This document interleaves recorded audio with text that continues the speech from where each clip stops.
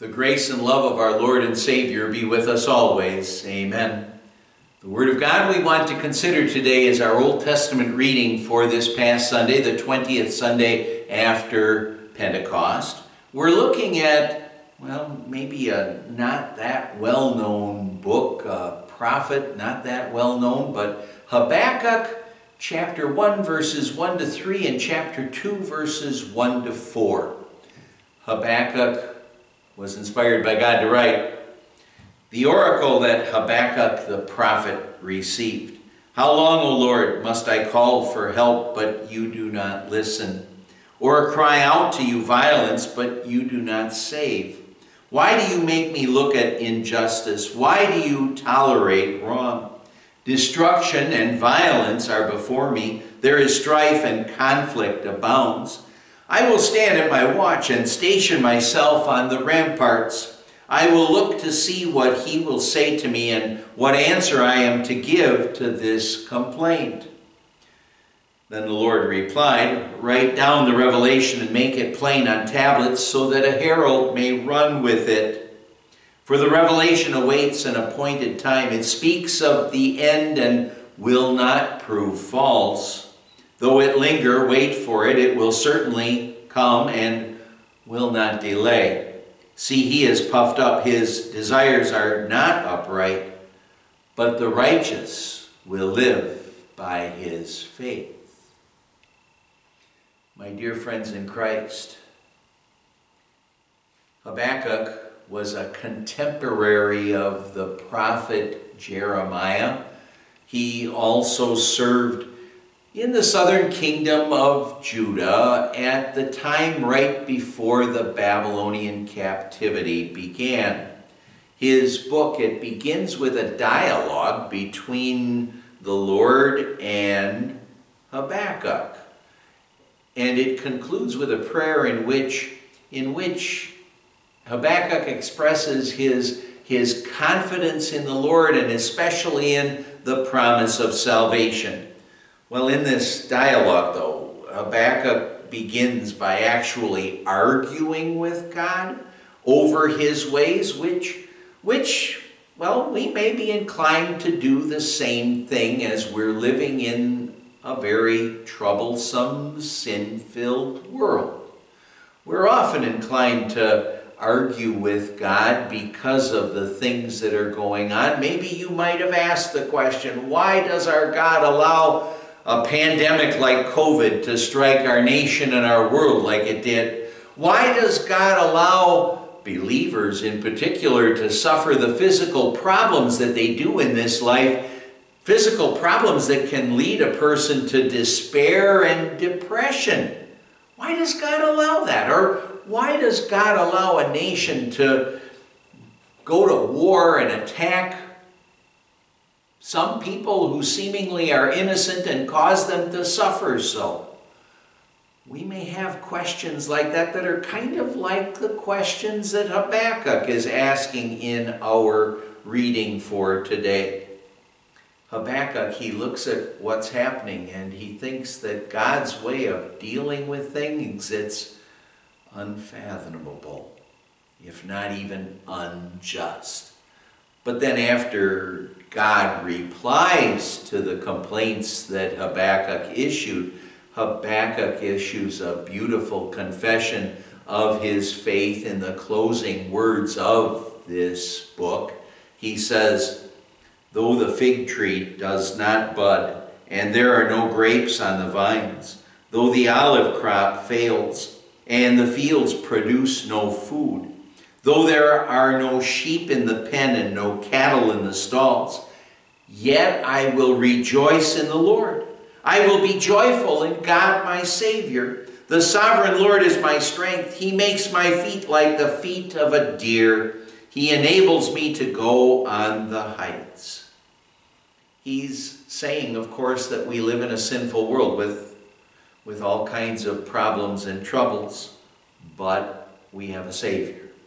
But we have a Savior, and that's what really matters. And how blessed we are even in this sinful world with all of its problems and troubles because we have a Savior.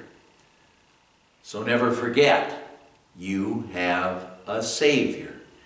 Never forget as you're faced with life's trials and troubles that you have a Savior from sin. You have someone who lived and died for you, paid for all of your sins. He rose from the dead, and because of that, you can be certain of heaven.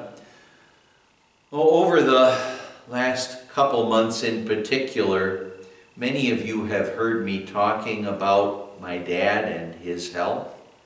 And oh, going back a ways, back in January of 2020, that's when, when my mom was called home to heaven. And, well, we rejoiced in her victory. We continue to rejoice in her victory.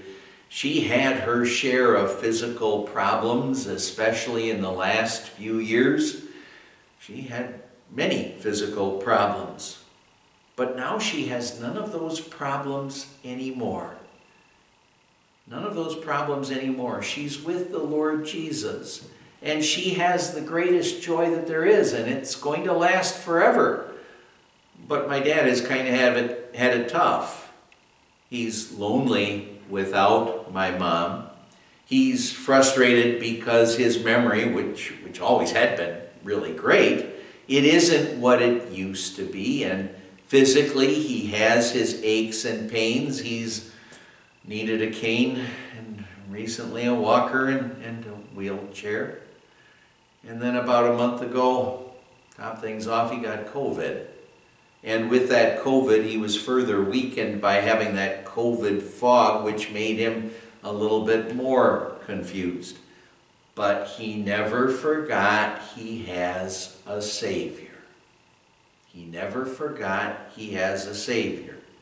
And because of that, he's looking forward to going to his home. And of course, when I say that, course, he'd love to be able to go back to his home in Hales Corners, Wisconsin. There and at St. Jacobi Lutheran Church, those were the places that he would feel the most comfortable. But of course, now he's looking forward to his home to heaven. And seeing my mom again, that would be absolutely wonderful for him, but more importantly, being with the Savior. Being with our Savior and having a glorified body and a, and a memory, for example, that a memory, for example, that maybe knows everybody's names, like Moses and Elijah and King David and Abraham and Adam and Eve right now he's frustrated. Right now he's frustrated, and he knows how Habakkuk felt as he expressed his frustrations in our reading for today. But he knows, but he also knows, as the Lord says in our reading, the righteous will live by his faith. And so, even with his aches and pains and being in the rehab center or nursing home, well, even under so such situation, he knows that he's really living by faith right now, and he knows he's going to really live by faith when the Lord takes him home to heaven. He'll never forget he has a Savior, and what joy that gives him. What joy that gives you and me as well. It means that even in his weakened state, I know how strong my dad is in the Lord Jesus. You know, we struggle a lot in this world.